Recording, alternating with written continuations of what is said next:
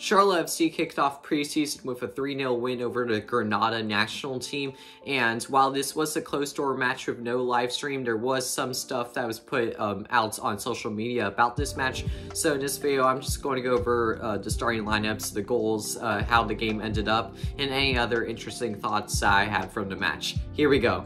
So this match was Charlotte FC's first ever organized match as a club, and it was played in Bradenton, Florida at the IMG Academy as a part of their second leg of preseason. After this, they will head to Charleston to play against three MLS teams, and then they'll face off DC United on the 26th.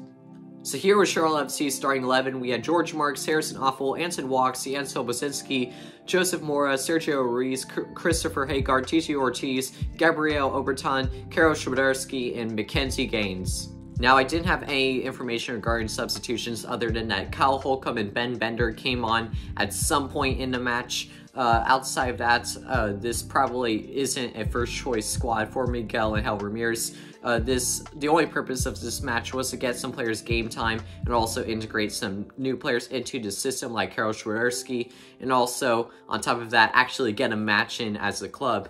Uh, I'm sure that there's a bunch of players that may not be with the squad right now that are still waiting to get transfer visas and whatnot to actually get into the country, but that's the starting lineup that we had for this match against the Spice Boys. So here's what the lineup looks for Grenada. It was mostly just players from USL and just lower leagues in America, and also a few players from the, uh, Grenada's league. And Grenada currently are also holding uh, January training camp in Bradenton, Florida, so that's why Charlotte FC ended up playing Grenada for his friendly.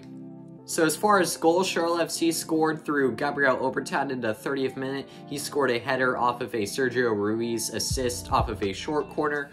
Uh, ben Bender, a Generation Adidas player for Charlotte FC, he scored in the 71st minute. And Kyle Holcomb, another draft uh, pickup, scored in the 89th minute for Charlotte FC.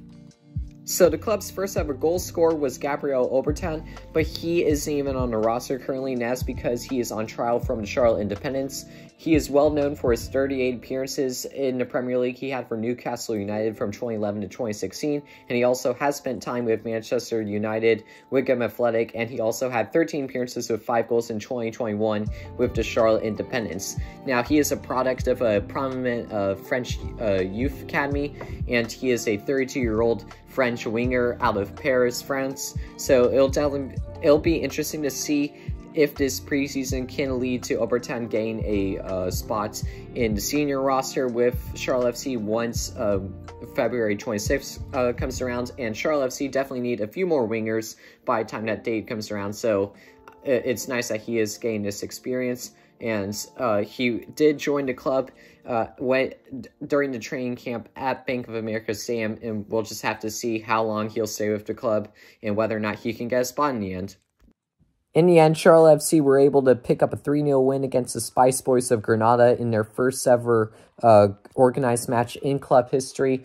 There isn't really uh, much to take from this match other than that Gabriel Obertan is in the running to become a Charlotte FC player because he is on trial from the Charlotte Independence. So it'll be interesting to see how that goes. Overall, this was just a chance for Miguel Angel Ramirez to test some lineups ahead of the inaugural season, and I'm sure that Charlotte FC fans will get to see more of this team once we actually get some live streams of the preseason games that will take place in Charleston. So that's all I have for this match recap of Charlotte FC's 3-0 win over Grenada. If you liked the video, please give it a like and subscribe to the channel for more Charlotte FC content like this. We might be getting a new DP from La Liga very soon, so I will make a video about that if that comes to fruition. And also, the away kits will be uh, released very soon, so I will make a reaction video to that. So please consider subscribing for, uh, for content like that, and I'll see you in the next one.